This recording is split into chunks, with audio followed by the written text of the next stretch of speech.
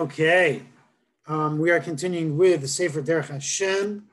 We are closing off on the third part of the Sefer, and we are now in the last parak, the last chapter of the third part, which is chapter five. After having given a um, an in-depth discussion about prophecy in general, now the Ramchal in this chapter is focusing on Moshe versus the other prophets. And what he said, what he said so far we're now kind of in the middle, the second half of the chapter. We're up to paragraph six, paragraph Vav. What he said so far is he's described a couple of traits that are true of all standard prophets, if you will. Um, a couple of traits true to standard prophets. One is that a standard prophet, when he uh, receives a prophecy, he is totally unconscious. He's, he loses uh, any, any degree of his senses, his regular physical senses, and it's a totally spiritual experience. That's one point. And um, in addition, the, the image comes through while he's either while he's dreaming or um, while he is unconscious in some way, when he's in a deep sleep, that's when a, that's when a typical prophecy happens. So that's that's the first um, difference that the Ramchal points out. The other difference that the Ramchal points out is that a standard prophet receives his prophecy in a uh, not so direct. A standard prophet, um, the, the description that Ramchal gives, which is very, very interesting, is that um, standard prophets, it's kind of like a um, an image that bounces from one mirror to the other and is refracted from one lens to another to another to another, many of which are not perfectly clean and clear lenses. So his image, what he's seeing, what the prophet sees, a standard prophet again, is more of a reflection and it's not a perfectly clear reflection on top of that. Um, and the same is true when there is a prophecy in the form of words. A standard prophet receives it as a riddle as opposed to the exact direct words. Those are um, some of the descriptions that the Ramchal gives to standard prophets. And then the end of last week's class, we started discussing Moshe Rabbeinu, the difference between and how Moshe Rabbeinu is different. And the first point is that Moshe Rabbeinu's um, vision was much clearer. Um, the way he describes it is with a, it's really the language of Chazal, the sages in the Talmud itself, aspaklaria hami'ira, a clear lens, meaning to say that it was a single reflection as opposed to a series of many, many reflections and many lenses. And in addition to that, it was perfectly clear, a perfectly clear lens. He makes the point that Moshe, even Moshe Rabbeinu was not able to look directly at a Baruch Hu. So even Moshe Rabbeinu, who was coming in contact with Hashem's glory through prophecy in the highest level of any prophet, he still had to receive it as a reflections through a certain lens and not view it directly.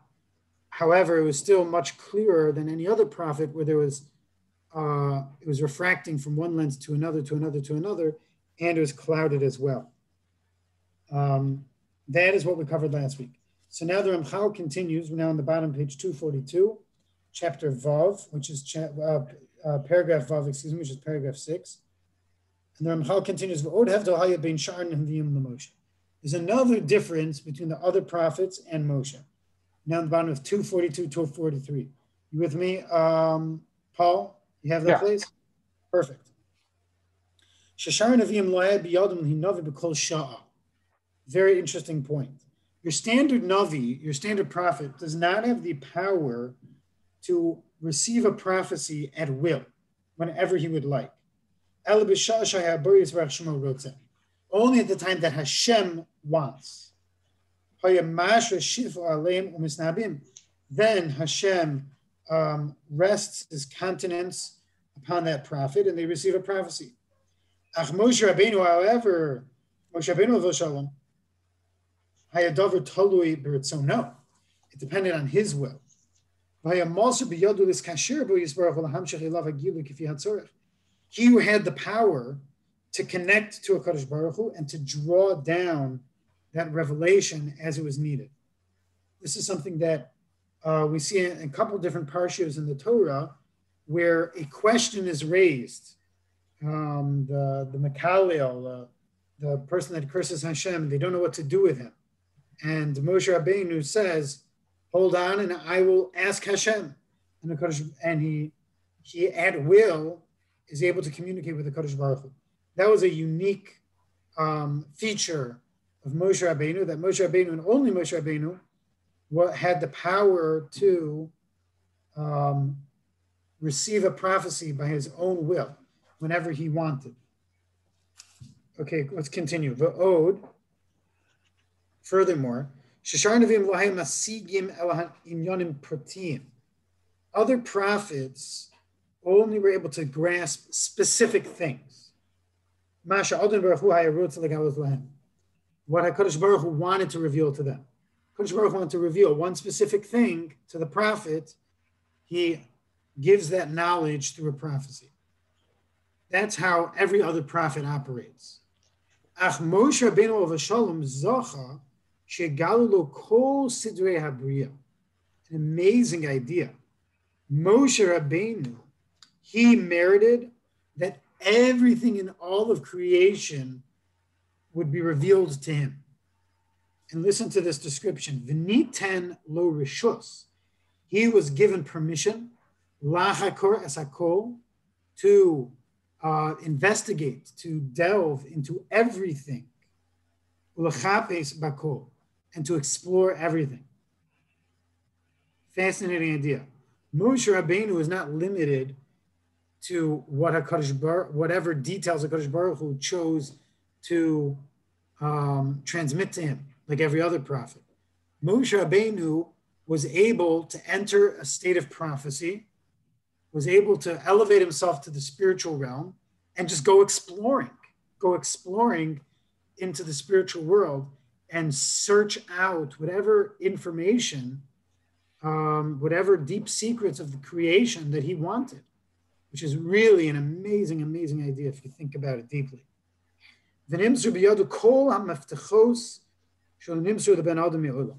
It was, it was given over to him all of the keys that were never given over to any other mortal. Because of this, what the pasuk says, Namanu. Fascinating idea that this is what the pasuk means when Hashem um, describes Moshe Rabbeinu that in my entire house he is trusted. It's a, a very ambiguous pasuk. If uh, if you don't have the Ramchal to explain it to you, Hashem says Moshe Rabbeinu is trusted in my entire house. What does that mean? Moshe Rabbeinu alone was given the keys, was given um, access. That's that's the real hitting the nail on the head. He was given access to the spiritual world in all of its secrets. Likewise, it says. I placed, I passed all of my goodness. I will, I will pass all of my goodness before your face.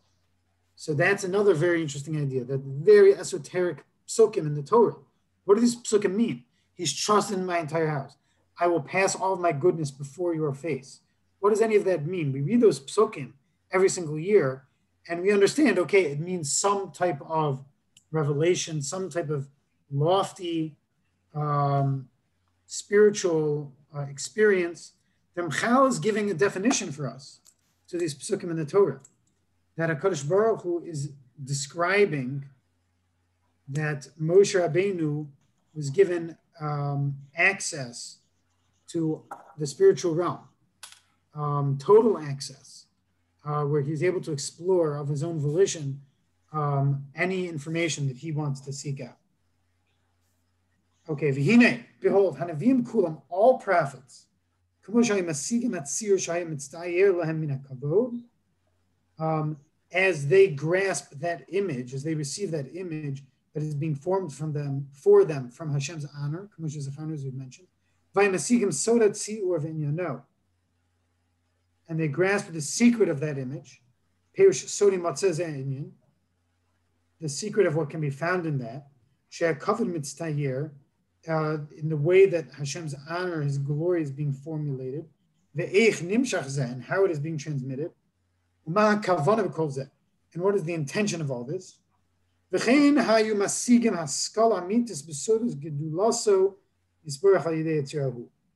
And likewise, they grasp um, certain true knowledge, true in, in, intellect about the secrets of Hashem's greatness through these images.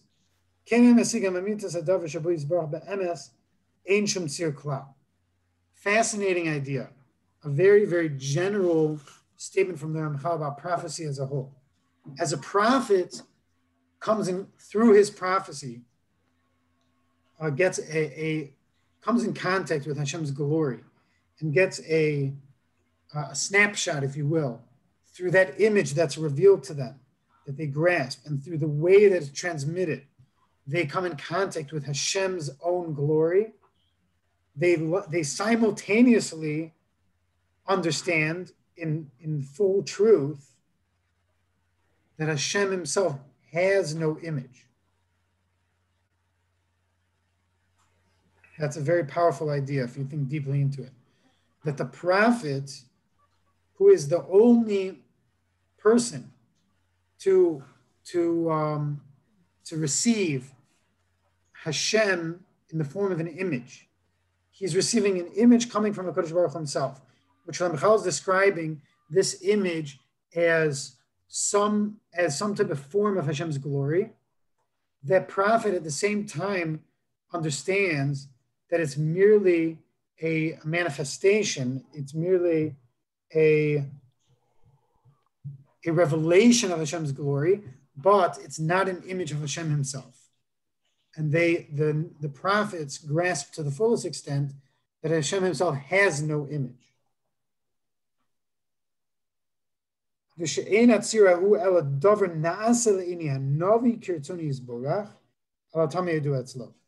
And that this image is only something that is being created for, for the eyes of the prophets according to Hashem's will for the reason that is known to him. That's what it is. In regarding this, we have a pasuk in the Torah that says, "Utmuna enechem roim zulasikol." You you you did not see an image, you only heard the voice. You will never see an image. We never see an image of a Kodesh Baruch Hu. Just other certain iterations, certain emanations, certain revelations of His glory, but never an image of Hashem Himself. Two things they grasp simultaneously in their truth. The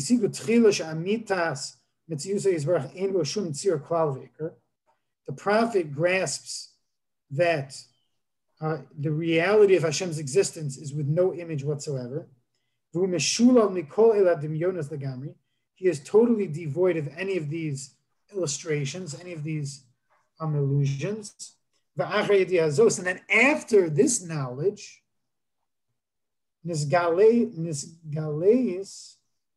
gamkin tmuna. It is revealed to them an image, um, some form of prophetic image. Shalen Emar, that it says. The prophetic image is referred to as they saw the God of Israel. This is what the sages refer to in the Sifri as a mar dibur, a, uh, a power an image of speech. Covered the emes. It's not a true vision of Hashem's glory, but rather an image, a vision that is formed from the power of speech.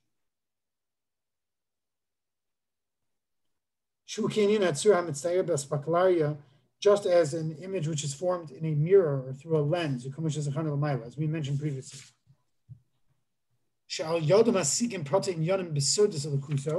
That through that image, they're able to grasp certain details, certain ideas about the secrets of Hashem, of his godliness, ubriyaso, and his creation, v'hanhagaso, his uh, behavior, the way he guides the world, kumushabaranu, as we mentioned.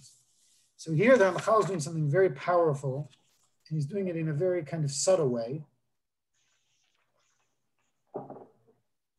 He's pointing out that if you look in the Torah, you'll find uh, verses that almost contradict each other. We have multiple verses that say that there's no Hashem has no image. Utmuna um what's the lashon? Roim. Hashem has no image. Then we have other psukim, the they saw the God of Israel. So what is it? Does God have an image? Can he be seen or can he not be seen? So Ramchal is explaining this with uh, this subtlety that Hashem himself, Hashem in his essence, has no image at all whatsoever. However, HaKadosh Baruch Hu nonetheless creates images for the prophets to see. He, he provides them with a vision, and that vision is a manifestation, a revelation of understanding, certain understanding of Hashem himself, certain understanding of Hashem's creation, understanding of how Hashem runs this world. All of those deep spiritual knowledge are transmitted to the prophet through an image. So the image is not God himself. They're not viewing God himself, but they're viewing an image created by God, which is God's way of transmitting to them an understanding of these deep secrets, these deep spiritual secrets of the world, these deep secrets of understanding how God operates on deep spiritual understandings of the world, etc., etc. That is how the Ramchal resolves the seeming contradiction, and this is how he concludes the third part of the Sefer Derech Hashem. Um, okay, it is now 8.51, so we do have some more time for tonight's class. So I'd like to begin the fourth part of the Sefer. Um, and the fourth part of the Sefer is really exciting because now the Ramchal takes everything that he's taught us and now it all becomes much more relevant, much more germane. Because until now, the Ramchal has been building up a, foundation, uh, a, a, a, beauuful structure of how to understand the world as we see it, how to understand Kodesh Baruch Hu's creation, how to understand God Himself, how to understand the rule of mankind, how to understand the spiritual world versus the physical world and the world to come. We've we've discussed all of that in this in our studies of the Sefer Derech Hashem. Now, the fourth part of the Sefer is where all of that becomes part of our day-to-day life. And all of it, all of it becomes extremely relevant. And that is because the fourth part of this book is Ba'avodas Borenu, service of God. Meaning now the Ramchal is going to explain to us the mitzvos. He's going to explain to us our purpose in this world, our mission, our job, how we're supposed to spend our, our life serving God, how to understand serving God.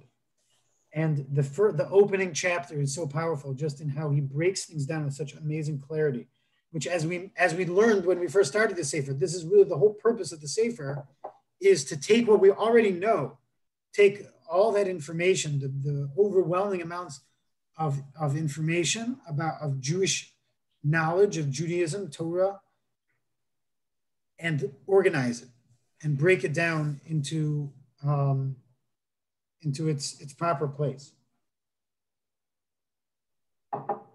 So let's begin. Part four, chapter one. The different parts of service of Hashem. Aleph, number one.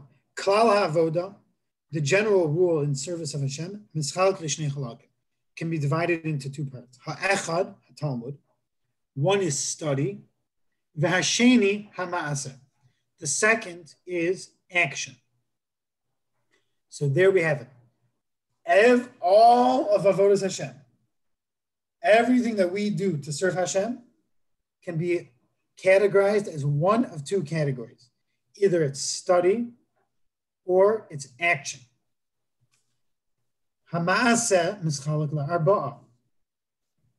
Action can be divided into four parts. This is a very powerful idea. There are four categories of mitzvos. I'm going to use the word mitzvah um, in um, in um, um, as a synonym for ma'aseh. Four types of mitzvos. Ha'echad tmidi. There are some mitzvahs that are constant, 24 7, um, uh, seven days a week, 24 hours a day, 60 minutes an hour, 60 seconds a minute. Constant mitzvahs. And we'll see what those mitzvahs are in very soon. Hasheni, category number two of mitzvahs, yomi, daily mitzvahs. They're, we don't have to do them 24 hours a day, but we have to do them every single day. Hashlishi, category three, zmani, um, seasonal. That was the dryer. Mitzvahs that apply um, only at certain times of the year. The harivi'i, the fourth category, mikri, um, mitzvos that are based on a, an experience or an occurrence, meaning they're not set into the calendar. They're not definite that they're going to happen ever in our lives. But if something occurs, then you then have to do a mitzvah. Um, just so to give basic ideas of this, a constant mitzvah would be something like believing in God. A daily mitzvah would be something like Shema, reciting Shema. You don't have to do it every hour of the day, but you have to do it every single day. Zmani, um, seasonal, time, a calendar mitzvah would be something like uh, Korban Pesach. It's once a year, but it's every single year, no matter what. And then Mikri, something that depends on something happening, would be, let's say, for example, um, Ma'akeh, building a fence around a flat roof you have to ha- buy a house or build a house with a flat roof to get that mitzvah. It's not something that's certainly not 24 hours a day, not something you have to do every day, not something that's in the calendar. It's not built into the calendar. something that if it happens, then you do the mitzvah. Those are the four categories of mitzvahs. Let's continue with our Ramchal. We're up to paragraph three, Gimel. Hatzmidi, constant mitzvahs. These are things that a person is obligate, obligated in doing constantly. Kagon, examples, Avas Hashem, love of Hashem, V'yiraso, fear of Hashem, Hayomi, daily mitzvos, Mashamuchiv Bo B'kol Yom, things that he's obligated every day, V'hainu HaKarbanos, Bizman Abayis, sacrifices at the time of the Beis HaMikdash, V'achshav, and today, Hatfilos, our prayers, Ukriyashma, and reciting of Shema. Hazmani, a seasonal or time bound, meaning uh, according to the calendar. They're specific times. Kigun Shabbosos v'Yomim Tovim, Shabbos and Yom Tiv. Hamikri, a um, happenings that they depend on certain things happening. Mashu Yichuyivo, uh, a mitzvah according to something happening. Kigon, for example, chala, the mitzvah separating chala. You only have a mitzvah separating challah if you need if you make a dough. If you don't bake any bread and you never make any dough, then you'll never have a mitzvah of challah. Ma'aser, tithing, that's only if you uh, harvest a crop. Pidyon ben, a uh, redeeming the firstborn son. That's only if um, you are not a Kohen, not a Levi, the wife is not from a Kohen family or from a Levi family, and the first child is a boy that's that knocks out a lot, a lot of people. Pidyon Haben is not so common. Of a kiyotze, and similarly. Every single one of these examples, what they all have in common is that you will find commands, commandments, and you'll find warnings. meaning that would be the, the negative, what we call negative commandments or prohibitions. Uh, the other terminology for that is an asay or a lav, a positive and negative commandment. That is the concept of to stay away from evil and to go do what is good. Okay, let's continue now with, with paragraph four, Dalid v'amnam. However, ikar kol hanyanim the primary of all of this, in its general sense, nisba'er b'chelik rishon, paragraph V. We've already explained it all the way back in the first part of this book, fourth chapter, shehu hapnei all of these mitzvahs are ways of turning towards Hashem and requesting a closeness to Hashem. According to the ways that Hashem has established uh, in order to come close and to cling to Him. Vihine.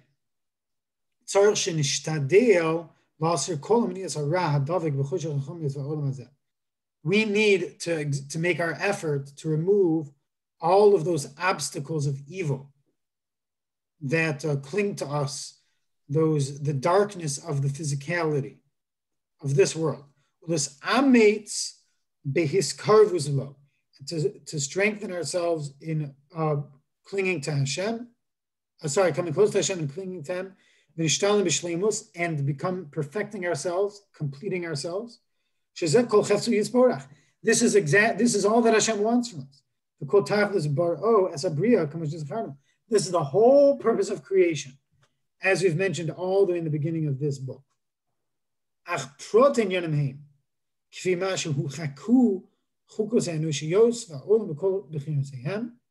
However, the details, the specifics of these matters, according to um,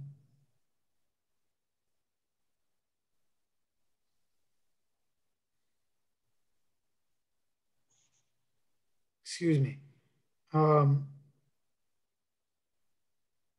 um, sorry, um, the details, the specifics are according to the nature of man and the world with all of their different facets. And the ways for man to perfect himself and complete himself. And likewise to complete and to perfect all of creation according to its orders and all of its divisions, its roots and its branches. We will now go on to explain a few of them that are that are the most relevant and the most common in all places and in all times.